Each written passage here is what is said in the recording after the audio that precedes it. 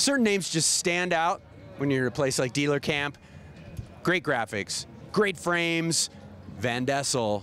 Edwin Bull, how are you? Great. How are you doing? So good. I'm so excited to hear about these bikes. Please do tell. Start with the cross bike. Uh, this is our gin and trombones. So we've been pretty well known for cross for a number of years. Gin and trombones is our race machine, aluminum frame with carbon seat stays, light, durable, responsive. Uh, this one's going to get raced tonight. It's set up with a pretty pretty nice setup, so the weight's right where you want it to be light, but not light where it's going to break. Um, we have these in cantilever version, also in disc version. They're interchangeable. So it's got the disc tabs right on the back, dropout. Um, you can run them either way. A lot of people are running discs now, but you can do both with this. So you can change your mind halfway through the season, which is uh, kind of a nice little feature. That's nice. You don't have to change your frame just because you want to go to disc. No, the fork you do need to change out, but the frame will do both. Still, the modularity of that is pretty good.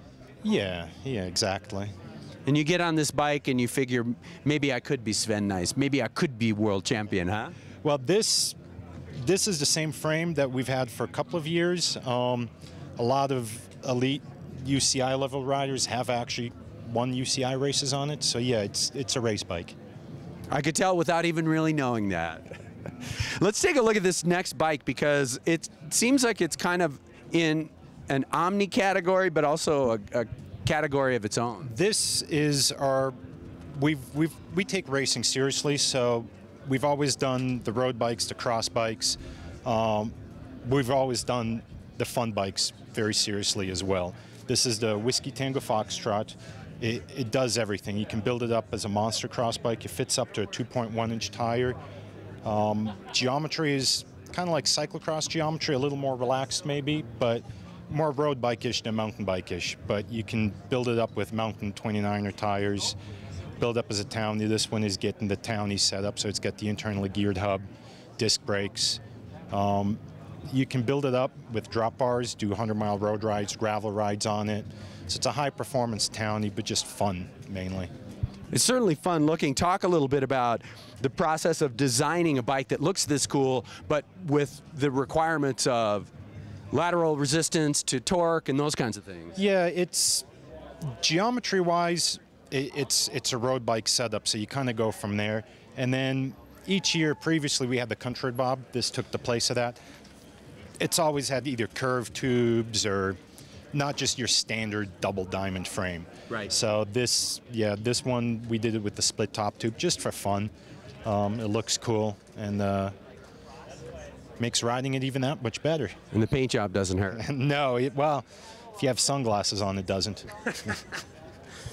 Little mountain bike action over here behind us. Uh, the Ramble Tamble. This is the 2014 uh, kind of redone version. We just got these in last week, so almost the same as the WTF. It's very versatile. All of our bikes are. It's got a split in the dropout for belt drive.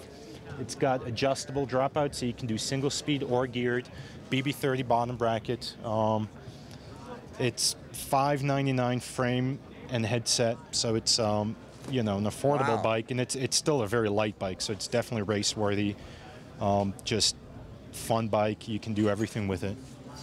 Edwin, here's an observation. It seems to me as though, in general, the bike business, the bike industry is going toward greater specialization and more categories, and yet it feels like you guys are, are kind of going in your own direction of being more variety in a single kind of frame. Is that a, a philosophical thing at the company level? No, I mean versatility is nice.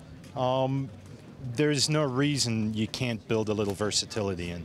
So, you know, our new cross frame we have coming out that will be only disc specific and only cantilever specific. You have to choose one or the other. But on a frame like this, to do the split adjustable dropout, why not? There's no weight penalty. It's you know just makes that much more user friendly. Well, and it seems like to me it may even appeal in a unique way to both the rider who doesn't want to get really into things, but also to the tinkerer who always wants to be working on their bike, changing things out and Yeah. seeing what they like better. Ex- Exactly, and especially for a frame at this price point. I mean, it's still a high performance frame, but um, it's very versatile. So you can build it up, race it geared cross country.